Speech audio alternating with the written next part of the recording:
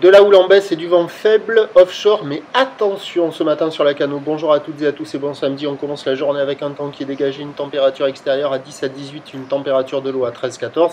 Cet après-midi, un temps dégagé, une température à 27. On est sur une marée qui monte, le plein haut est à 11h25, des petits coefficients de 35. Sur cette montante, le vent est offshore, mais là il est faible, et je l'ai eu faible et variable à un moment, des fois un peu onshore. On a l'impression qu'il hésite, je ne sais pas si vous voyez au large, c'est ridé au bord c'est lisse. Je veux dire que c'est offshore faible, attention. Est-nord-est, moins de 1 Beaufort.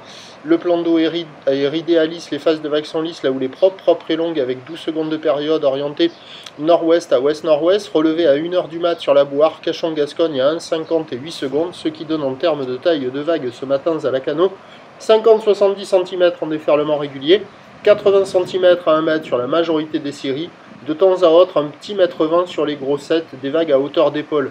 La barre est facile à franchir, les vagues sont moyennement sélectives à, réserver pour des surfeurs intermédiaires. Il y a un peu de monde à l'eau, il y a des vagues à attraper. Euh, c'est pas la perfection, mais il y a des bouts. Alors les vagues au bord, elles ferment quand même beaucoup.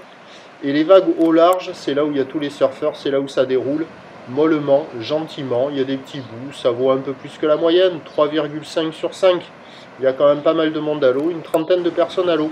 L'évolution pour le reste de la journée, un train de houle stationnaire à la mi-journée qui s'essouffle en soirée. La boue en gascogne au dernier check est à 1,40 et 9 secondes.